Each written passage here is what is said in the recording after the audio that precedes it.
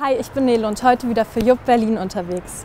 Bei Politalk Watch stellen sich PolitikerInnen, Aktivistinnen und Menschen aus der Kinder- und Jugendarbeit Berlins den Fragen unserer Jugendredakteurin, also mir. Und heute sind wir bei Clara Schädlich, der jüngsten Abgeordneten Berlins.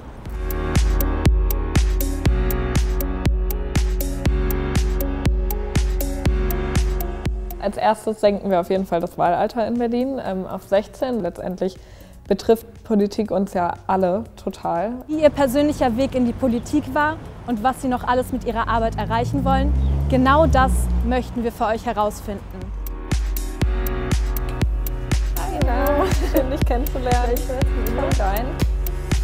Ich zeig dir das Büro. Einfach hier lang. Ich hätte jetzt noch ein paar Fragen an dich. Wie kommt man denn auf die verrückte Idee, mit 17 schon der Partei beizutreten? Ja, gute Frage. Also ich habe mit 17 Abitur gemacht und dann hatte ich so ein paar Monate Zeit, bis mein Studium losging. Und in der Zeit dachte ich, will ich mich irgendwie ehrenamtlich engagieren. Und dann habe ich erstmal geguckt, was kann man eigentlich so machen und irgendwie gegoogelt, keine Ahnung, bei Tierheimen oder irgendwas, was man so tun kann. Und dann bin ich darauf gestoßen, dass es Jugendparteien gibt. Das war mir, also ich wusste das, aber es war mir nicht so richtig im Kopf.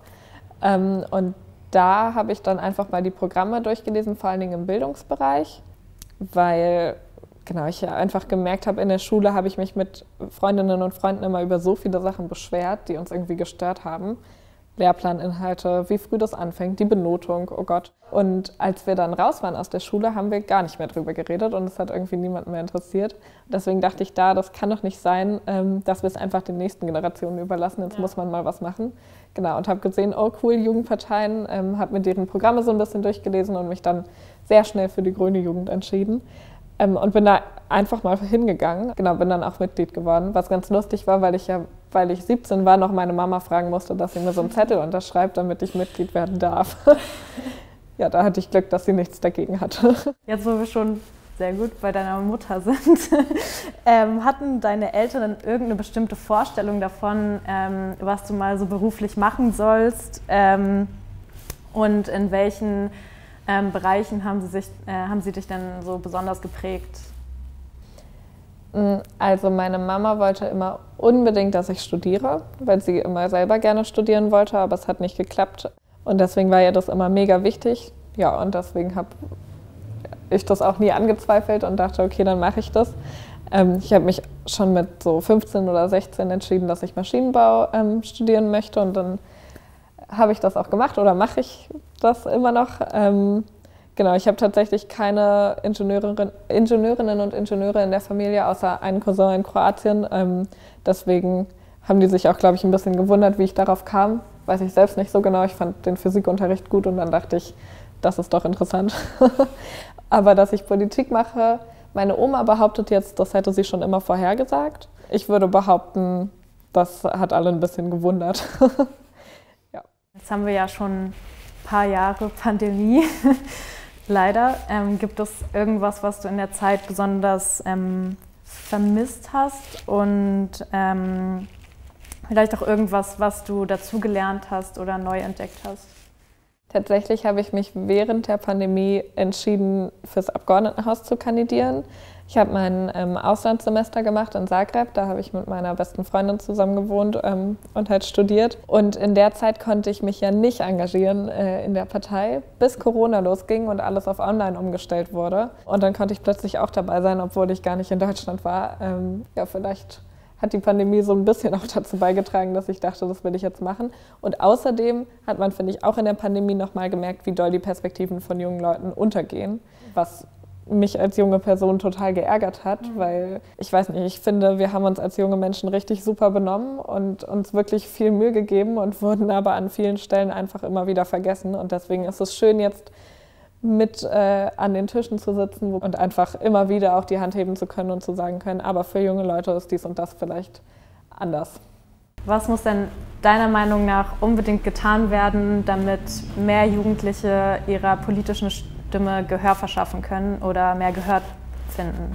Es ist immer gut, wenn sich schon junge Leute irgendwo engagieren. Dann ist es, glaube ich, so, so eine Art positiver Kreislauf, weil dann sehen das andere Menschen, fühlen sich vielleicht auch motiviert, ähm, gehen auch in die Politik. Genau deswegen äh, versuche ich immer alle Leute zu motivieren, dass wenn sie Lust drauf haben, sie sich unbedingt einbringen sollen, weil letztendlich betrifft Politik uns ja alle total. Also ob man jetzt zur Schule geht, die von der Politik irgendwie mit beeinflusst wird oder die Bahn benutzt, die von der Politik mit beeinflusst wird und so weiter.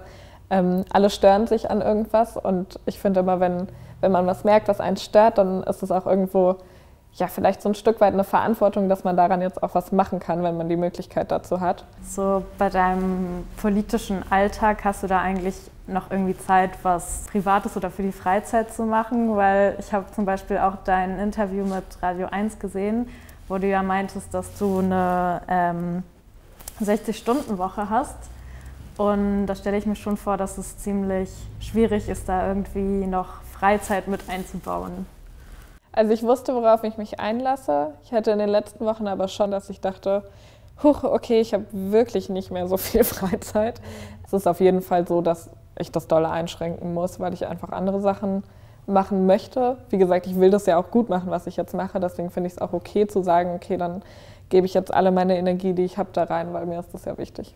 Stört es dich generell, dass du so auf dein junges Alter angesprochen wirst? Es ist mir wichtig, dass die Leute das wissen, dass ähm, ich jetzt jung bin oder momentan die jüngste Abgeordnete bin, ähm, will ich ja auch ein Zeichen setzen irgendwie für andere junge Leute. Ihr könnt euch auch engagieren, wenn ihr wollt und das Alter ist dabei egal.